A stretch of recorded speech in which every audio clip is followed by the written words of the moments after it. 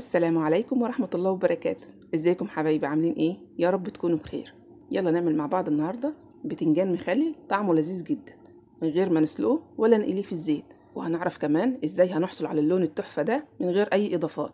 لكن قبل ما نبدأ أتمنى اللي ما اشتركش في القناة يشترك. ولو عجبكم الفيديو متنسوش اللايك والشير وتفعلوا زر الجرس عشان يوصلكم كل جديد. يلا بينا نشوف مخلل البتنجان بطعم لذيذ ولون التحفة ده هنعمله إزاي مع بعض. يلا نقول بسم الله ونبدأ. معايا بتنجان عروس حجمه صغير. ما تجيبيش الكبير عشان ما يكونش فيه بذور من جوه. نشيل الراس دي أو القمح أو العرش زي ما بتسميها. ما تقطعوش بالسكينة عشان المنطقة دي ما تسودش. بنشيلها بإيدنا كده سهلة جدا. شايفين؟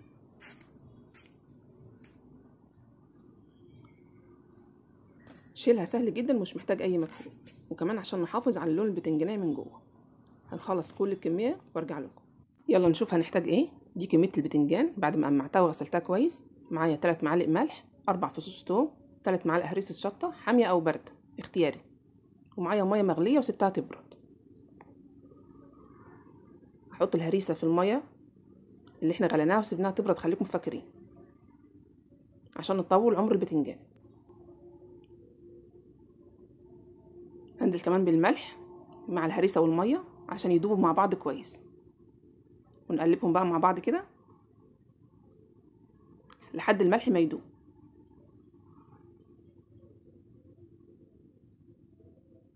كده الملح وهريسة الشطة اختلطوا كويس جدا بالمية. والملح كمان داب. أجيب بقى البرطمان اللي هحط فيه المخلل ولازم حجمه يكون مناسب للكمية بتاعه البتنجان. نجيب كمان سكينة ونعمل فتحة بسيطة جدا في البتنجان. ما تخليش الفتحة توصل للناحية التانية. من جنب واحد كده وتفتحي فتحة بسيطة. ولو مش محتاجاه يستوي بسرعة ممكن ما تفتحيش الفتحة دي تستغني عنها.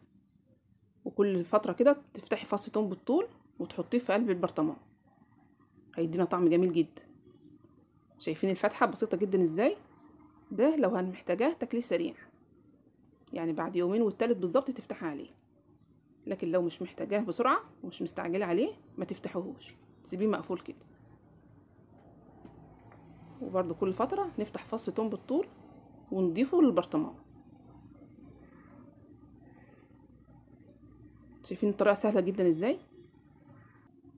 ليه البرطمان لازم يكون مناسب لكمية البتنجان؟ عشان البتنجان خفيف. لو البرطمان كبير هيعوم على وش المية البتنجان. فمش هيكون متغطي كويس بالمية وهيفسد منك بسرعة. هدي محلول التخليل كده تقليبه ونضيف منه شوية عشان لو في فراغات البتنجان ينزل فيها وياخد باقي الكمية.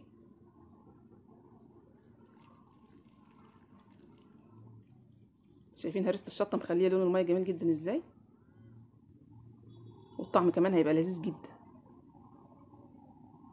أنزل بباقي فصوص التوم كده. وباقي كمية البتنجان. ونكمل البرطمان بالمية. لازم المية تكون مغطية كل البتنجان والبرطمان يكون مليان على الآخر. شايفين البتنجان؟ عشان نحكم بقى إن مفيش أي هواء يدخل نجيب قطعة كيس كده أو stretch المتوفر عندك ونقفل عليها الغطا. وتقفيل كويس جدا. إحنا مش محتاجين نحط زيت ولا أي حاجة. وخليكم فاكرين إن إحنا ما ضفناش كمان خل عشان الخل بيهري البتنجان. لازم تحكمي كده قفلة الغطا كويس. اللون الأسود ده هيختفي نهائي بعد يومين هتشوفي اللون.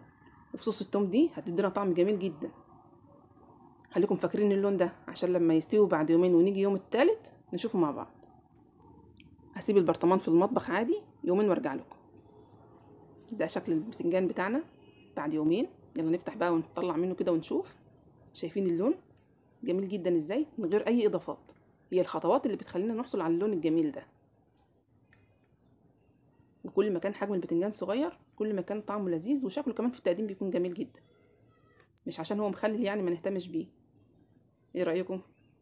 والمفاجأة بقى من جوه. يلا نفتح بقى ونشوف. إيه رأيكم؟ شايفين البتنجان مفيهوش بذور إزاي؟ عشان اخترنا الحجم الصغير. دي هيكون لونها جميل جدا. شايفين؟ ولا ضفنا بنجر ولا أي حاجة ولا ألوان صناعية ولا أي حاجة. هي الخطوات اللي ادتنا اللون الجميل ده. ده الشكل النهائي للبتنجان المخلل بتاعنا. إيه رأيكم فيه؟ وطريقته مفيش أبسط منها وطعمه لذيذ جدا ولونه كمان تحفة. بألف هنا وشفا عملت معاكم النهارده مخلل البتنجان بشكل جديد خالص وسريع جدا وسهل وبسيط ولونه كمان جميل وطعمه تحفة. يا رب تجربوه بطريقته ويعجبكم. لو عجبكم الفيديو متنسوش تشتركوا في القناة ولايك وشير للفيديو وتفعلوا زر الجرس عشان يوصلكم كل جديد. والسلام عليكم ورحمة الله وبركاته.